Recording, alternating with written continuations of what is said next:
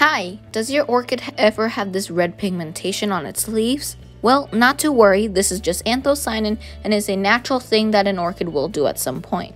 Our plant's leaves are usually green and that is produced by chlorophyll.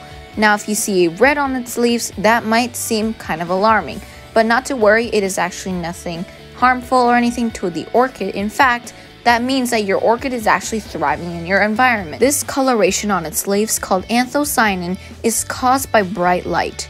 This just means that an orchid is trying to protect its leaves from getting sunburned. Most common spot to have anthocyanin is on newer leaves or the tips of the leaves. Different plants vary a little bit as some orchids will have more anthocyanin than others and it also depends on each and every environment that you're growing your orchid in.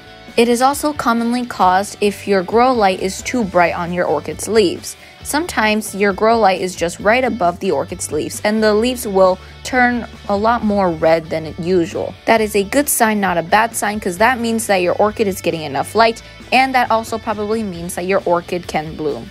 If your orchid does not have any anthocyanin on its leaves, that is absolutely okay. Just keep in mind that if you have not enough light, your orchid will probably not grow as well.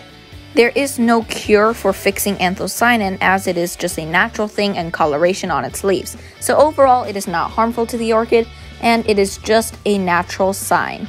Alright, thank you guys so much for watching today's short video. Hopefully you found it informative. If you did, please give this video a rating down below and subscribe for more. If you want to see more plant and orchid content like this, turn on notifications. If you like to be notified, share would be great. And with that being said, I'll see you guys next time. Bye!